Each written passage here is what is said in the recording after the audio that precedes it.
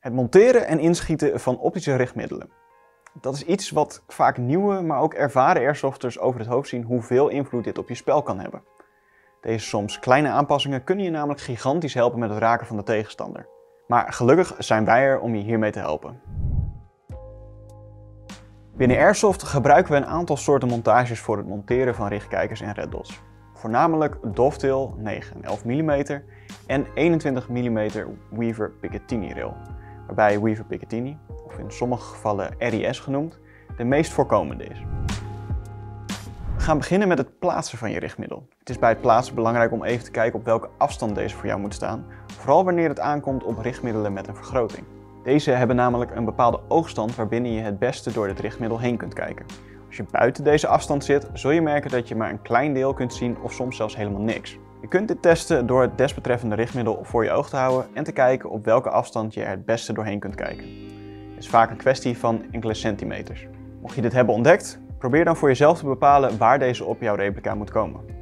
Zo zorg je ervoor dat je goed zicht hebt en alles scherp kunt zien. Daarnaast is het ook van belang dat je een natuurlijke en ontspannen houding aan kunt nemen wanneer je door het richtmiddel kijkt. Dus dit heeft ook invloed op de afstand waarop het gemonteerd wordt. Zodra het optische richtmiddel goed is gemonteerd, kunnen we gaan beginnen met inschieten. Alleen, staat jouw hop-up wel juist ingesteld? Je hop-up speelt ook een grote rol, want misschien krijgt jouw BB wel te weinig op of juist net te veel. Daarom is het belangrijk om dit eerst even af te stellen voor we werkelijk gaan inschieten. Zorg ervoor dat je vrij zicht hebt tijdens het instellen van jouw hop-up. Probeer eens over grote afstand te schieten en kijken hoe ver jouw BB komt, waarna je de hop-up losser of strakker kunt gaan draaien. Voor meer uitleg hoe je dit perfect in kunt stellen, kijk dan even deze video.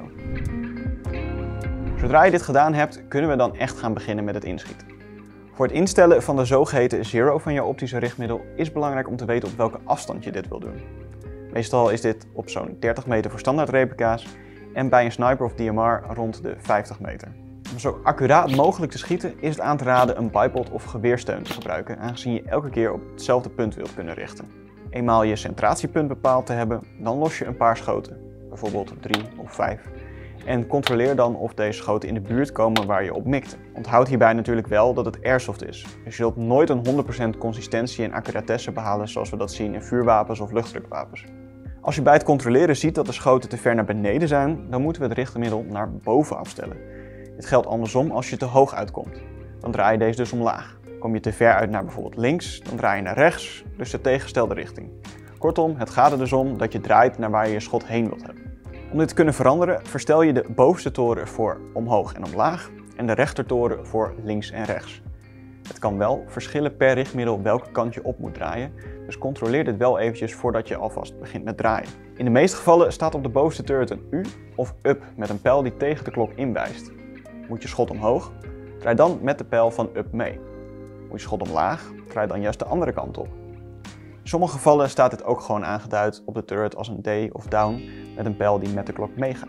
Voor de turret aan de rechterzijkant, voor de zijdelingse afstelling, geldt hetzelfde principe. Maar dan zie je vaak een R of right met een pijl die tegen de klok inwijst. Moet het schot dus naar rechts, draai dan met deze pijl mee. Moet je schot naar links, dan draai je de andere kant op. In sommige gevallen staat dit dus ook aangeduid op de turret als een L of left met een pijl die met de klok meegaat.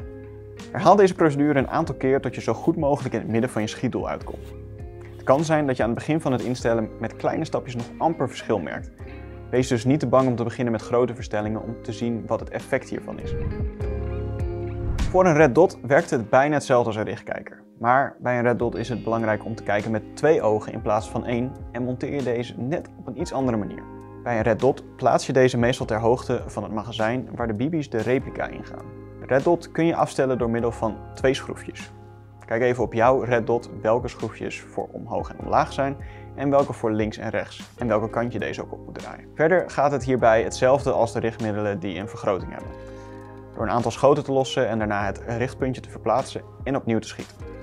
Wanneer dit allemaal is ingesteld, kun je het veld op en lekker gaan knallen. Vergeet niet dat wanneer je richtmiddelen van je replica afhaalt, deze mogelijk opnieuw ingesteld moeten worden wanneer je deze er de volgende keer weer opzet. Het is daarom verstandig om dit te laten zitten als je zeker weet dat je dezelfde setup de volgende keer weer gaat gebruiken. Mocht het toch niet helemaal gelukt zijn en kunnen we je misschien ergens mee helpen, voel je dan vrij om het te vragen in de comments of even langs te komen in onze winkel. We helpen je graag verder. Vergeet je daarnaast niet te abonneren en tot de volgende keer.